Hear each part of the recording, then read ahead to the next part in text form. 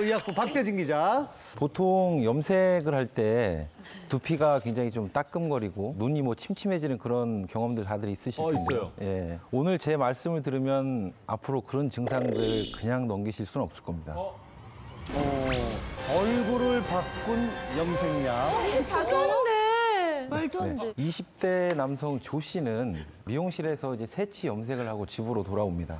그런데 그날 밤 두피가 점점 부어오르는 것 같더니 다음 날 아침이 되니까 머리에서 나오는 진물이 온 베개에 다 온통 다 젖어가지고 시간이 점점 지나면서 얼굴이 점점 퉁퉁 부어오르고 상태는 점점 심각해져 갔습니다. 뭐 이거는 이제 뭐 이거는 이제 이게 붓기만 한 게 아니라 모양이. 얼굴이 왜 저렇게. 부었어요? 옆에 사진은 이제 염색한 다음 날 정도 됐고요. 그리고 나서 점점 심해져서 병원에 입원했었을 피가 내려온 그런 건가 봐. 사진이에요. 예, 다급히 이제 응급실을 찾은 그는 염색약으로 인한 알레르기성 접촉 피부염이라는 진단을 받았습니다. 음. 어, 경기도 용인에 있는 한 여성도 굉장히 끔찍한 경험을 하게 됐는데요. 집에서 자가로 이제 셀프 염색을 한 후에 얼굴이 점점 부어오르고 호흡곤란까지 이제 와서 결국에는 병원에 입원을 해야 했습니다. 근데 진단이 더 충격적이었는데 혈관 부종하고 얼굴 부종 때문에 눈이 침명될 수도 있다. 이런 이제 진단을 받은 거예요. 피해. 아니 단순히 염색만 이게 한 건데 왜 이렇게까지 됐나? 그 원인은 바로 염색약 속에 들어있는 PPD라는 파라페닐렌 디아민이라는 어, 화학 성분 때문에 그렇습니다. 이 성분이 원래는 이제 색을 굉장히 선명하고 짙게 해주는 착색제 역할을 이제 하는데요. 어, 염색약에서 이 성분이 가장 기본이고 또 가장 중요하기 때문에 PPD가 없는 염색약은 뭐 안고 없는 찐빵이다. 뭐 이런 비유가 어, 되기도 합니다. 어, 염색을 저- 보통 우리가 할 때 두피가 따끔거리고 눈이 침침해지고 뻑뻑해지는 그런 느낌들이 다 이 PPD 때문에 그런 거거든요. 그래서 실제적으로 몇 해 전에 영국에서 이 PPD 때문에 사람이 사망하는 사건이 있어서 충격을 던졌습니다. 당시 17세 소녀였는데 염색약을 바르고 20분 후쯤에 갑자기 고통을 호소하면서 쓰러졌고 병원으로 이송을 했지만 결국 그대로 사망을 하고 말았습니다. 그래서 독일이나 프랑스, 스웨덴 같은 유럽 국가에서는 이 성분을 염색약에 사용을 하는 거를 이제 제한을 시키고 있는데 우리나라는 물론 유해성은 인정을 이제 하고는 있지만 염색약의 3% 미만은 사용하도록 허용을 하고 있습니다. 그래서 시중에 유통이 되고 있는 제품의 90% 이상이 다 이 성분이 들어 있는데 그러면은 나머지 10%는 괜찮으냐? 그것도 아닙니다. 그래서 이 PPD가 신체에 굉장히 유해하다는 사실들이 알려지기 시작하면서 제조업 업체들이 PPD 성분을 뺀 신제품들을 막 출시를 했죠.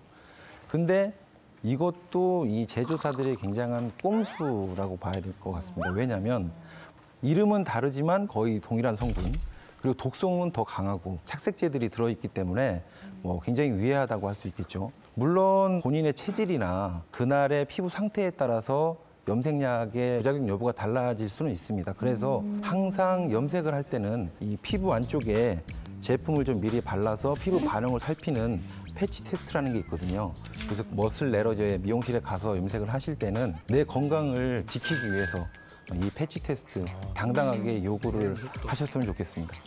아 근데 사실 뭐 우리가 생활하면서 염색을 하러 미용실을 가게 되면 패치 테스트는커녕 그 포장지도 볼 수가 없거든요. 언니들 다 이러면서 나오잖아요. 어, 뭐. 네. 어, 앉아, 앉아, 뭐 앉아. A6번 뭐 이만큼 이렇게 이렇게 해가지고 뭐 이렇게 나오니까 우리는 뭐 무슨 제품인지도 모르고 그런데 만약에 그렇게 해서 부작용이 생겼다. 그럼 미용실에서 우리가 보상을 좀 일정 부분 받을 수는 있습니까? 아, 미용업은 소비자 피해 보상 규정 자체가 별도로 마련이 돼 있지 않기 때문에 보상을 미용실에서 받으시는 것은 거의 불가능하고요. 뭐 보상을 받는다 치면 해당 제품을 제조한 제조사를 상대로 이제 보상을 청구를 할 수 있는데 이 제조사들은 우리 제품하고 그 부작용하고 인과관계가 있는지를 확인해라. 라고 하기 때문에 입증하기가 굉장히 어렵습니다. 그래서 이 입증을 위해서 병원에 가서 진단을 받을 때 또 의사들이 이 성분에 의해서 이런 부작용이 발생했습니다라고 친절하게 뭐 써줄리 만무하기 때문에 고스란히 뭐 피해는 소비자한테 올 수밖에 없는 거기까지 오지 않더라도 사용 설명서에 이렇게 테스트를 하라고 그게 써 있잖아요. 써 있죠, 써 그러니까 이거는 뭐 소비자의 뭐 과실이 될 예. 수가 있으니까. 근데 요즘에 막 광고 보면 천연 성분으로 만들었다 이런 염색약도 많이 나온 걸 봤거든요. 네네. 그거는 그럼 괜찮은 거예요? 아, 사실 이 천연 성분만으로는 본인이 원하는 색을 절대로 얻을 수가 없습니다. 왜냐하면 착색제가 없으면 그 색이 선명하게 나오지도 않을 뿐더러 염색이 되더라도 효과가 그렇게 오래 지속되지 않거든요. 맞아요. 그래서 사실적으로 천연 성분은 뭐 눈곱만큼 들어있고 유해한 착색제가 많이 다 들어있다고 보시면 거의 들어있다고 보면 되는 거예요? 예, 그렇습니다. 근데 외국에서는 뭐 이 성분을 안 쓴다면서요? 그 사람들 어떻게 염색하는 거예요? 뭐 일단 외국 사람들은 두피 건강을 위해서 뭐 선명한 컬러 염색을 포기를 하는 거죠. 그런데 이제 외국 사람들도 진한 염색에 대한 동경이 있기 때문에 굉장히 강한 발색력을 가지고 있는 한국산 염색약을 굉장히 선호한다고 합니다. 뜻밖의 이런 염색약 한류 바람이 염색 한류. 좀 좋은 건지 걱정을 해야 되는 건지 참 분간하기가 어렵습니다. 아, 우리가 옛날에 염색할 때는 뭐 이제 맥주, 그다음에 진짜 과산화수소가 있었던 것 같고. 맞아, 맞아. 예, 그랬던 것 같아요. 근데 요즘 친구들은 그냥 집에서 간단히 하는 건 뭘로 하나요? 요즘 친구들도 굉장히 획기적인 방법으로 염색들을 아, 합니다. 예, 악마의 잼이라고 뭐 누땡땡이라는 것들 많이들 들어보셨을 텐데요. 어떻게 염색이 없는 건데? 머리를 좀 일단 적시고요. 초콜릿 잼하고 연유를 머리에 바른 다음에 호일로 이거를 잘 포장을 해줍니다. 시간이 일정 부분 경과가 되면 카라멜색으로 염색이 예, 된다고 그러더라고요. 머리 샴푸해도 유지가 돼요? 예, 그래서 2, 3주 정도 유지가 와, 되는데 되는 거예요? 어차피 여기에는 당분이 굉장히 많은 잼이 두피에 닿으면 뾰루지 같은 부작용이 발생할 수 있으니까 완화하시는 게 좋겠죠.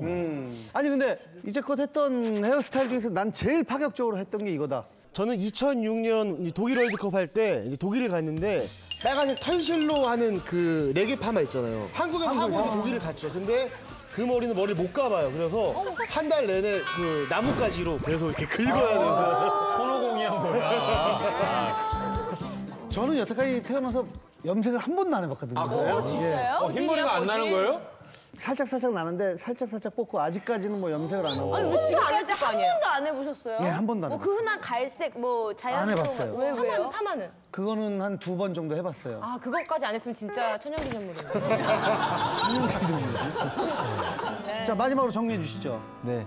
염색 소중한 나 자신을 가꾸려고 하는 것이겠죠. 하지만 중요한 거는 어, 머리색보다 내 건강일 겁니다. 그리고 염색하실 때 나를 지킬 수 있는 방법 패치 테스트 꼭 기억하세요.